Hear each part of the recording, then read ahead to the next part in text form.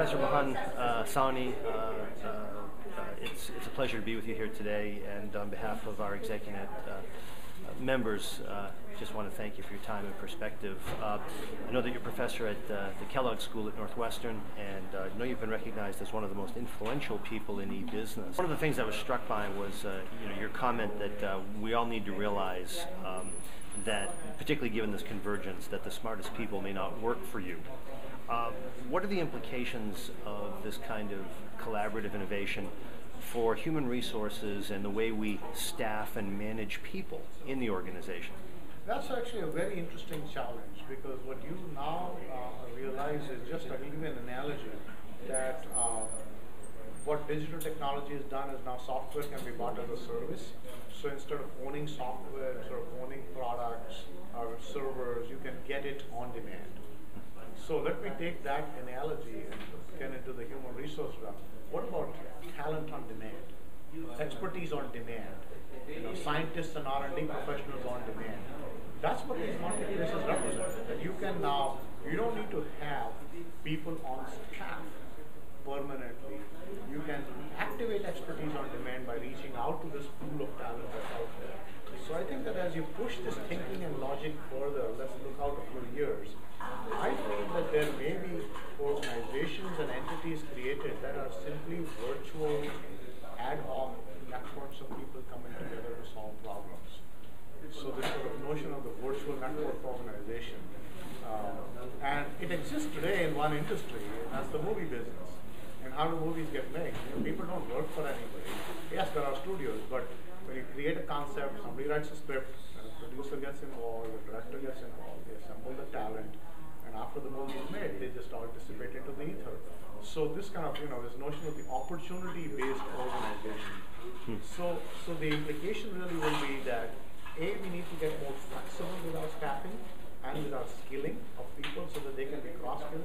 So it's something that I talk about is instead of having business units and functions alone, how about opportunity-focused organizations, which is that if a company sees an opportunity, a team gets created, an, you know, an gets created to coalesce around that opportunity, much like a movie script, and then it kind of disbands. You, you, have to, you need to create more fluidity in the roles, responsibilities, and in, inside your organization.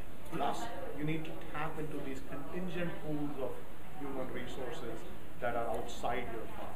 Okay. So overall, we are sort of, you know, I'm arguing for what might sound like a very chaotic model for human resources, which is that uh, it's open season on anybody in the company. They can flexibly move between projects and between functions, and, uh, uh, and, and, as well as that you can reach outside on an as-needed basis, complement and supplement the input that uh, the capital that you have. Okay. So overall, I think that this is that, what we will see. Therefore, is more fluidity, uh, more flexibility, and more openness to external sourcing of talent. And in this process also, some or more talent is now going to come from emerging markets, where okay. there's a massive new untapped pools of talent. What are the implications then uh, with regard to collaborative innovation and what it's going to require of individuals and particularly leaders? Uh, you just talked about some of the potential implications on human resources and organizations and flexibility uh, at the enterprise level. Uh, what what's really going to be required at the personal, individual leader level in order to open up to these possibilities? I think at the leadership level, uh, collaboration starts with a shift in the mindset. You know, it starts with a shift in the perspective that we are the best, we know what we need to do, and we know enough to act on this ourselves.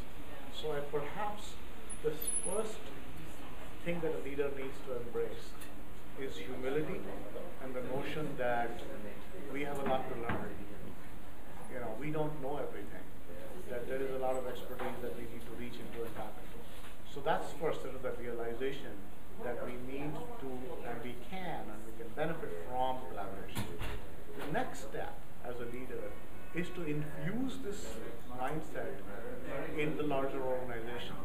That requires extensive communication, repeatedly banging on this, you know, being on a soapbox and talking continuously about the importance of looking outside, being external, letting go. Because there's a letting go involved, but there's some risk involved. As you become open, as you reach out, there may be loss of intellectual property. Competitors may come in and sabotage your so there are a lot of you may lose control over the innovation process. So those are all risks that you do need to take. But that's where leaders need to sort of say it's okay. We have to let go to grow. We have to embrace open. So embracing open, that's the communication task. The third task for a leader is roles and responsibilities. As I was mentioning in my talk, somebody needs to be in charge. So you need to actually create specific roles that are directed at facilitating external innovation, connected innovation. And uh, so I think that leaders have a succession of uh, things that they need to do, starting with opening the mindset, communicating the open mindset and collaboration, creating roles and responsibilities in unit, and then holding people accountable. Terrific. Mohanbir Sawhney, thank you very much for your time and perspective Thank you. today. Thanks.